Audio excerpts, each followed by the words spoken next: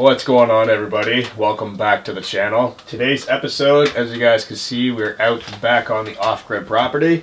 Just Boomer and I, and I've got a little bit of an update to share with you guys with the property. I know I haven't been filming a whole lot, and there's been some changes on the other channel. we'll just leave it at that. But um, I will update you a little later on in this video what's going on and what's been happening.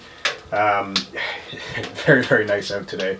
So it is currently snowing. I think it's about three degrees, maybe two degrees Celsius. Boomer's been running out here, having a blast. He loves running. He's got his beautiful blonde curls going on here. I won't put his sweater on right now because he keeps running back inside, jumping up on this chair, drying out from the wood stove, and then back out to play again. It's what he does all day, every day out here. He loves it. So, starting off this day with uh, hot coffee. Got the wood stove cranked up. I'm drying out all this slab wood around here because some of it is still damp and a little bit green, as this is actually offcut from the milling that I did on the sawmill to make some lumber. So these are all little offcut pieces that were green. They're burning, kind of slowish. As you guys can see, the stove is damped down a tiny bit, but they are burning. I'm trying to dry it out. And um, yeah, it'll burn. I am sick right now, by the way, guys, so my voice is actually horrible. I'm uh, just kind of battling this uh, cold in the woods with a wood stove and hot coffee.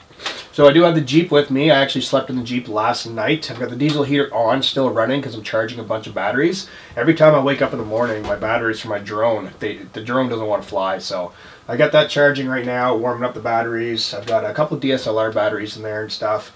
And uh, yeah, as you guys can see, this is home sweet home. So a little bit more on that in a little bit in this video. But right now I do have to wake up, have a little bit of breakfast. I think what I'm going to do is probably get some sausages, maybe some egg on the skottel behind me. Get that pulled out over here, get that fired up, or maybe to cook on the wood stove. I'm not sure.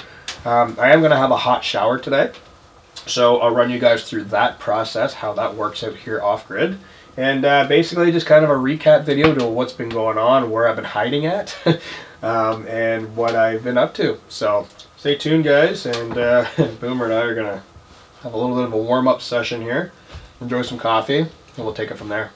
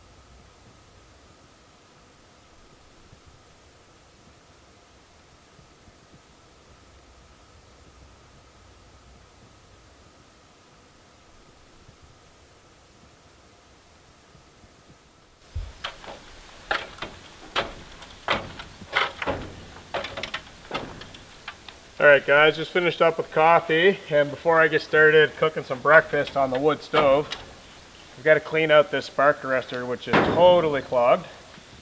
The only way I can reach it is with a stick. So, gonna kind of poke through these holes one at a time and get it cleaned out because it is filthy dirty.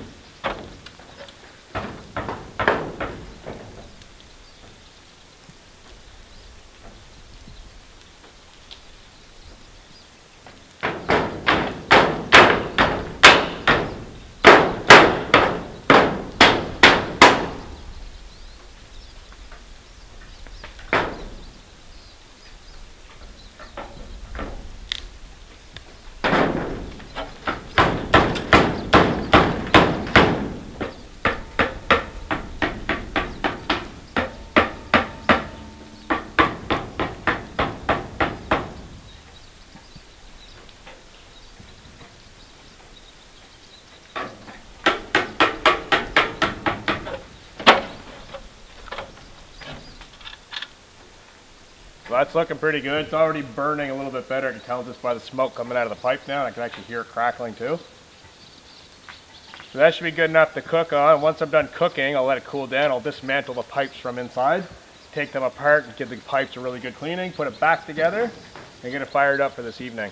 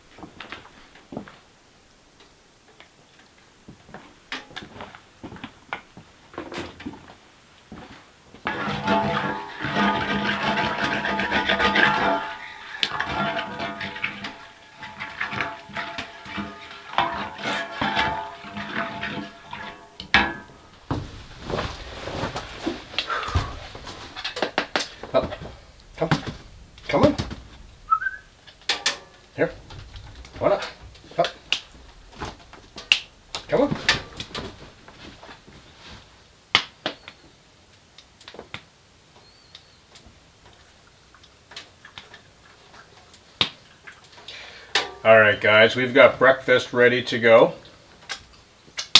Boomer's gonna have some, still a little too hot for him, but got a big breakfast. So I actually have some steak and some rice that I cooked up last night with onion and mushroom on the skottel. Added that into here. Got a breakfast blend of mushrooms, bacon, potato, kind of like a hash brown mix, and then a bunch of these sausages. Oh. Mm-hmm. Super good. So, gonna eat up here, sitting in front of the wood stove, got the garage door wide open. The snow has stopped and turned to rain. Right now, it looks like it's not doing anything out there. So all the snow is back to being off the trees like it was yesterday. Kind of neat waking up in the rooftop tent this morning. Everything was just a winter wonderland, nice snow. It's been like that up here on the property for the last week. And uh, yeah, it's just really nice. So I'm going to eat up and um, basically continue on with the day. I do have to take a hot shower, so I want to bring you guys along the process of that. Getting the water, getting over to the shower, getting everything figured out. That all warmed up. And uh, yeah, just keep on going with the day. Basically out here in the wintertime, every day is a chore of getting firewood ready. I got a bunch of stuff out here drying out and uh, keep that process repeating it. Water, firewood, food. Water, firewood, food. Always. And staying clean and having fun too at the same time. So, I'm going to eat up and I'll catch up with you guys as soon as I'm finished.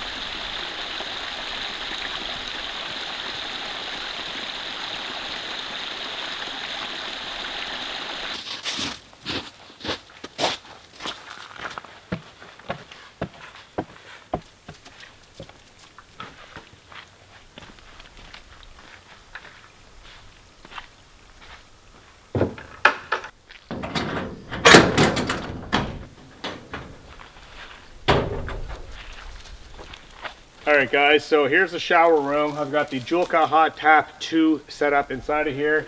Just had to go down the driveway to the creek where the only water source or running water source on the property is. So I've got that. I've got propane in there. I've got a propane heater. It is kind of damp in there. It's not very cold out today. If it was really, really cold, I'd preheat the shelter with the propane heater. I'm not going to do that today. But I do need to get the Jackery out of the Jeep because that is my battery source to run the pump. I did not bring a small battery out with me this time. I only had the Jackery, so yeah, keeping that in mind for next time, bringing it back out to run the pump. The only electrical piece that actually needs to run is the actual water pump. So I want to grab the Jackery, get that situated probably on the back side because the water will go this way and through the floorboards. Uh, it's an outside shower, so basically there's no drain. The water's just going to run through into the ground and all that good stuff. So I'm gonna grab the battery, get that set up, bring a towel, change of clothes, and hopefully have a nice hot shower in here and then kick back and relax next to that wood stove.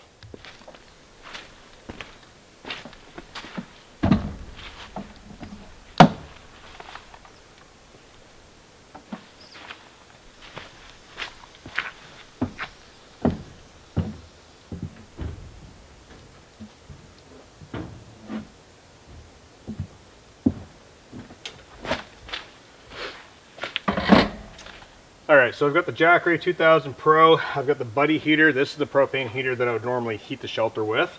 But today it's really warm out. I'm not even gonna bother. And there's probably a little bit of propane in there. I'll use that for a really cold day, especially when it's icy out here. Get the cold breeze whipping around. It's nice to have this shelter hot.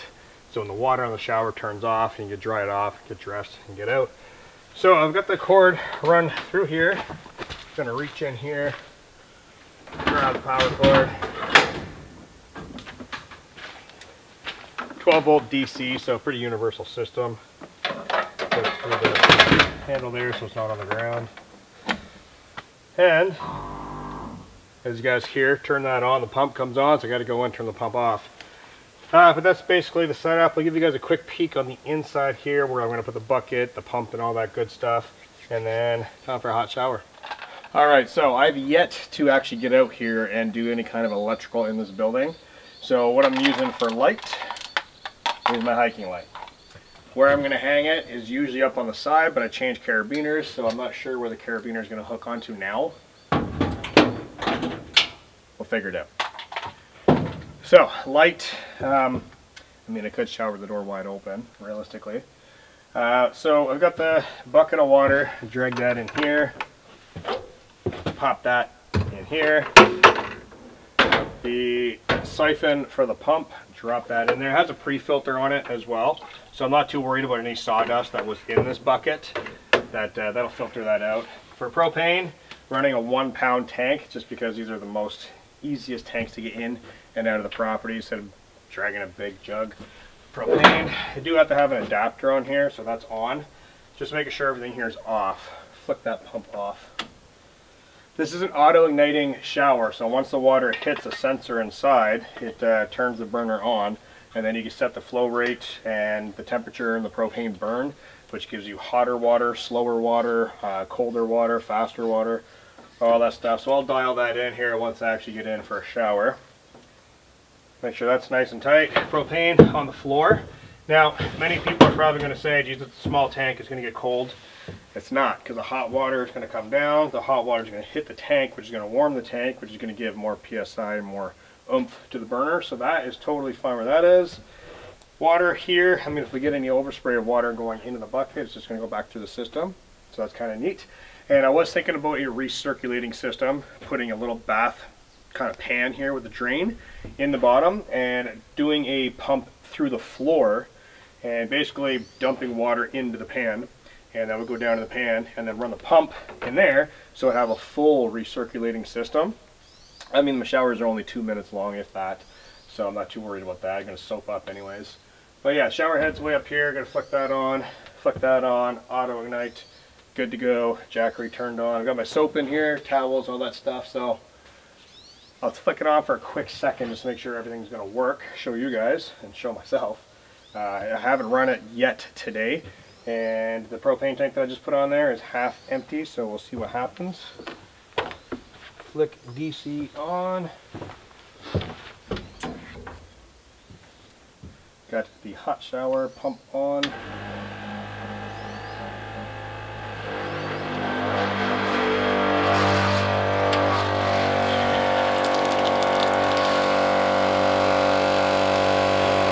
That's going to get nice and hot.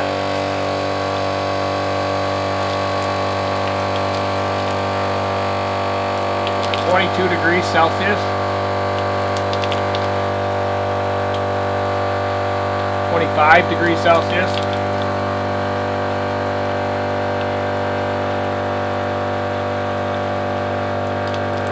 Just got to dial in the right flow rate to build up the temperature.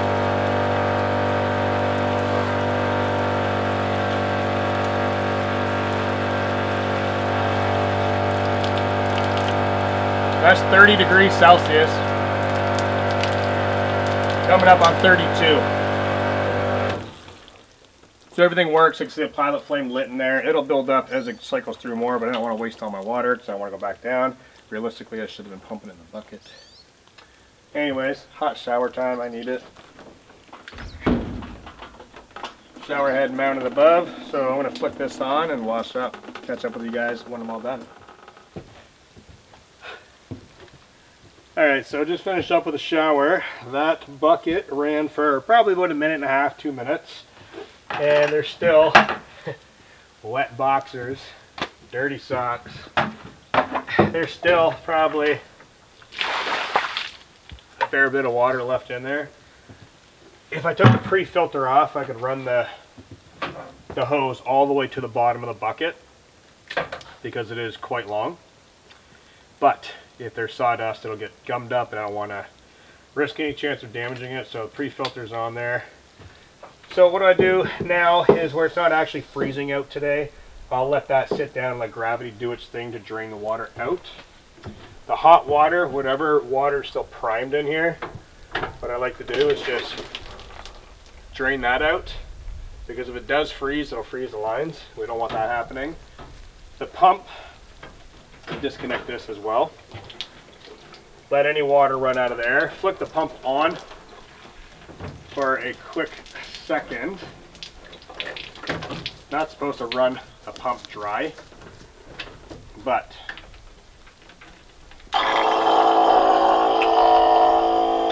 just to kind of get anything out of there that might be sitting in there. If it freezes later tonight, should be all right now. Connect everything back up. The bottom of these heaters do have a drain plug as well to actually drain the little basin. I'm going to drain that right now. Little brass screw. Comes out. There's a little bit in there, not a lot. And then put that back in. That basically stops it from freezing the tank and exploding when uh, the ice expands. So that's drained, drained. Reconnect that for the next shower. Let that sit there. Propane tank, I'll probably bring that into a warm place, but I'll leave it there for now. Shower head's decent. That's all drained out. So it's basically it. So I got a little shelf built in here for a towel and my soap, which was almost frozen from last night, by the way. So probably should have preheated my soap in a pot of water. Would have been a great idea. But that shower done. Got my little tree here that I've been using for my clothing rack. A little hook while it's not raining or snowing that is. And that's basically it, shower done. So I got to get the propane heater back inside there, Jackery back in the rooftop tent. Get this all buttoned up and that's the outdoor shower. So feeling a lot better right now. My voice is still hoarse right now being sick. So try not to talk a whole lot. I do need a hot drink. So we get all this stuff squared away back in the workshop and in the Jeep, and uh, probably make another hot drink and just relax. It is starting to rain a little bit. Evening is getting closer, so it's going to be time to cook supper. And uh, I want to be ahead of the game tonight, so I do need to top up the diesel heater tank with diesel. Um, get the blankets squared away inside of the tanks. I don't like doing that when it's dark out. Uh, just easier being able to see things if something falls in the snow out the tent door. And yeah, get that wood stove rocking in the wood shop. Probably hang out there for a while later on this evening, watch a movie, and then head up into the nice heated rooftop tent. So get this buttoned up.